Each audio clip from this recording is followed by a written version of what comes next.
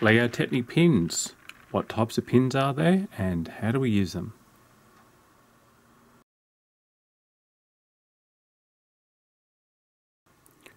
Technic pins with friction ridges are very good for creating Technic projects to be strong and secure. For example, we may get a Lego Technic beam and we'll put two Technic pins in, another Technic beam or lift arm, and you see that's quite rigid, quite strong. Um, so very good for building strong models and etc. So what does friction ridges actually mean? Well, I'll just take a pin here and we'll show you. So here's a close-up of the Technic pin with friction ridges. Now what the friction ridge actually is, is that little ridge just there, another one there, and you can see they're actually all around the pin. So there's actually eight on each end. And those little ridges make sure that when you put the pin into the Technic lift arm or beam, it's quite secure, strong and rigid.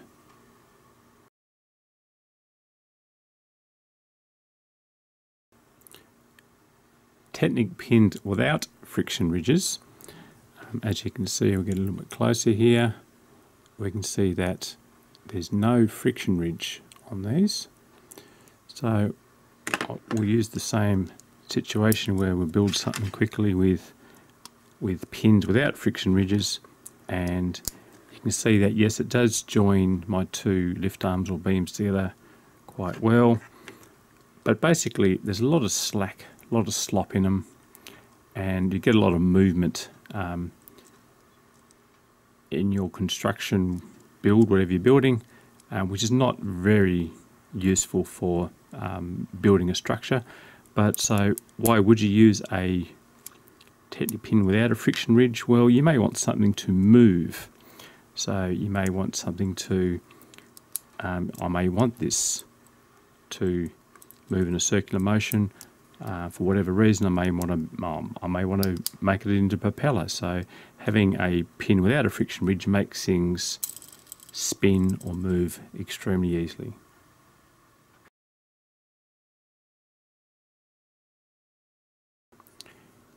You can see the friction ridges on the 3L pin and very similar to the black 2 long pin. The friction ridges make your model very strong, very secure, very handy pin to have.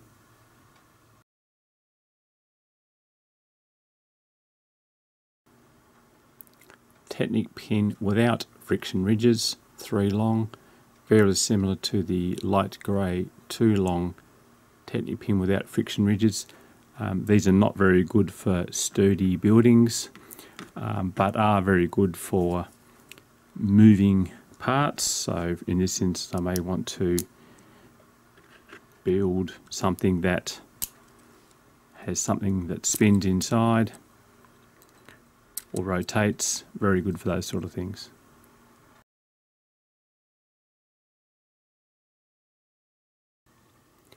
A Technic 3 quarter pin allows us to connect a standard lift arm like so to a thin lift arm which is half the width of a standard lift arm or beam and that allows us to connect that together quite uh, neatly I'm uh, not too sure why they call them three quarter pins, considering they actually take a thin lift arm, which is actually only half the width of a standard lift arm, but that's what they are.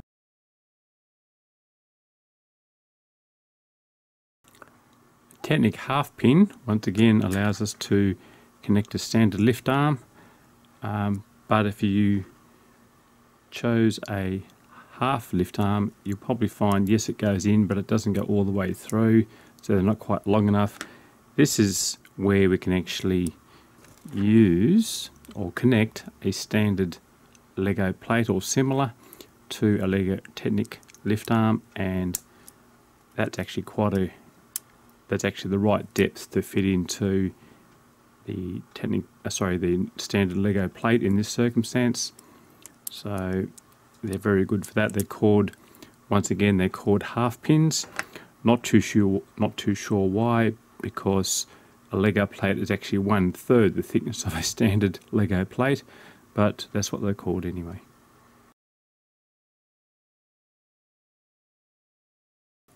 A Technic axle pin um, allows us to once again put the pin end into a lift arm or beam. Uh, but because this is an axle on this end I'm obviously putting into another beam it's just got to fall out but we can actually um, put the axle end into the axle end of the lift arm like so. Once again the blue one the blue pin does have friction ridges which makes the build quite strong and sturdy.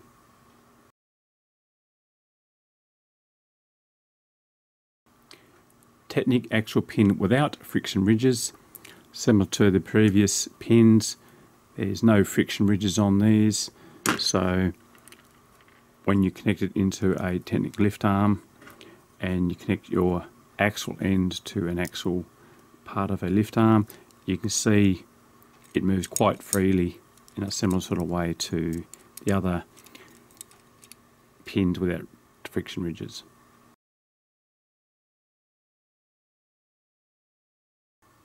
Technic Axle 3 long. Um, this particular pin does have friction ridges similar to the other ones so it's going to make your model very strong but this one actually has two lengths of pins and one length of axle. So once again you can connect two Technic beams plus something else that has an axle end.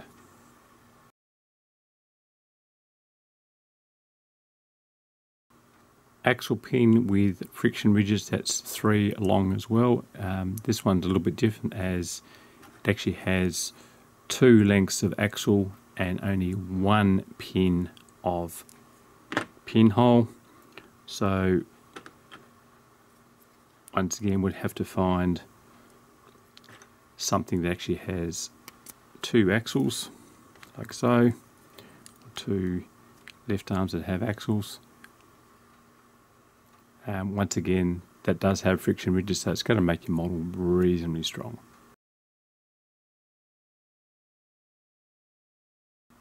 Technic pin with friction ridges, three long with also a stop bush. Um, the stop bush is actually this part round here. And this allows us to, when you push a Technic beam into the pin, it actually stops, can't go any further. Um, it allows us to add a second beam.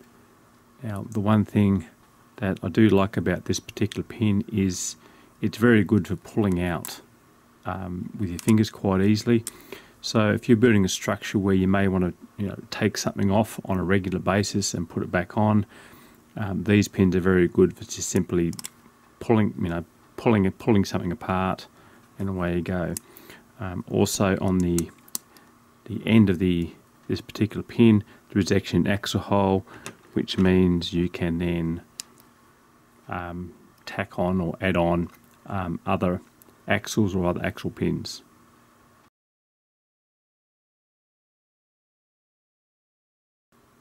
A double pin with an axle hole in the center allows us to maybe add two Technic beams together like so and then we may want to grab some sort of axle or axle pin for example and build something else. Very handy that sort of thing.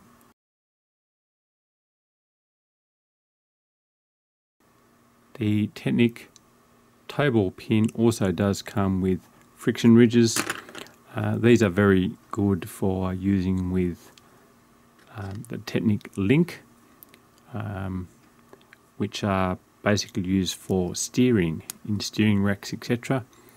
Um, pop in very well, able to move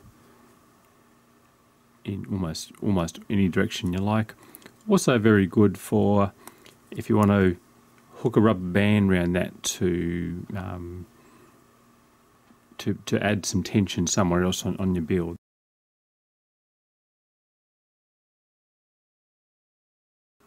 Technic pin with friction ridge and a hole at one end.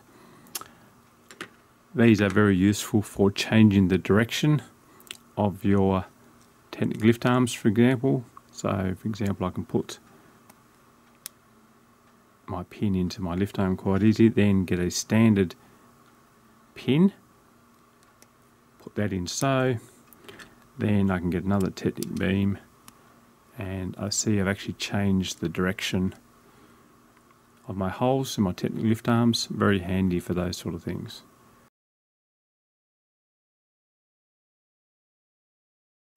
Technic pin 3 long with one hole in the center, very similar to the previous Technic pin with one hole at one end. Um, once again, this allows you to add a Technic beam to both ends of the pin. Then we may be able to add one Technic pin in the center and maybe go off in a different direction like so.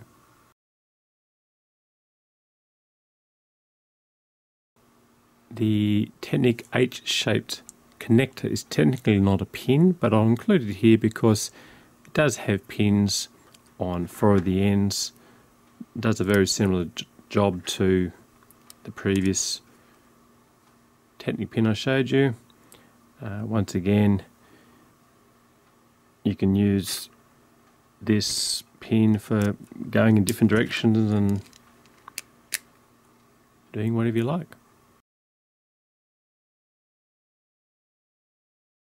The Technic L-shaped connector or perpendicular connector, uh, once again, is not technically a pin, but does a very similar job uh, to what we've already looked at. We can basically get some technical lift arms, make a very neat corner, um, and also at the same time, we might be able to connect another lift arm or something else in, in another way. Very, very handy uh, connectors these. Um, when you're building large structure, these are probably your most valuable pin or connector.